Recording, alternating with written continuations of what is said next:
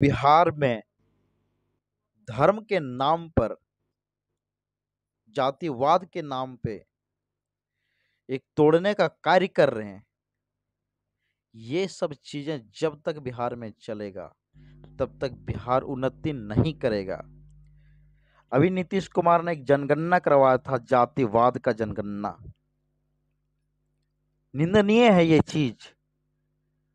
आप जातिवाद की जनगणना करवा रहे जो धीरेन्द्र शास्त्री जातिवाद को हटाने के लिए हिंदू राष्ट्र की मांग कर रहा है, उसके सपोर्ट करने की जगह आप लोग जातिवाद का जनगणना करवा रहे हैं। ये गलत है।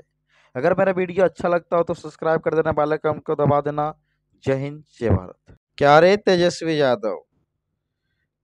तुम बहुत बड़ा नेता बन गया आजकल के डेट में। तुम बिहार का डिप्टी सीएम है।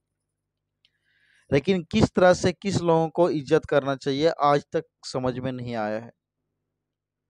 तुम्हारे घर में जाके उस, वो कुछ नहीं कर रहा है, न जातिवाद फैला रहा है, धर्म की बात कर रहा है, उसका जो अधिकार है। तुम्हारा अधिकार है राज्य को चलाना और राज्य को चलाओ।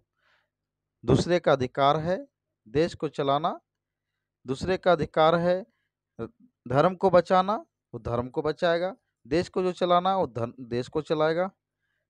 इसमें विपक्ष और पक्ष की बातें ना करें।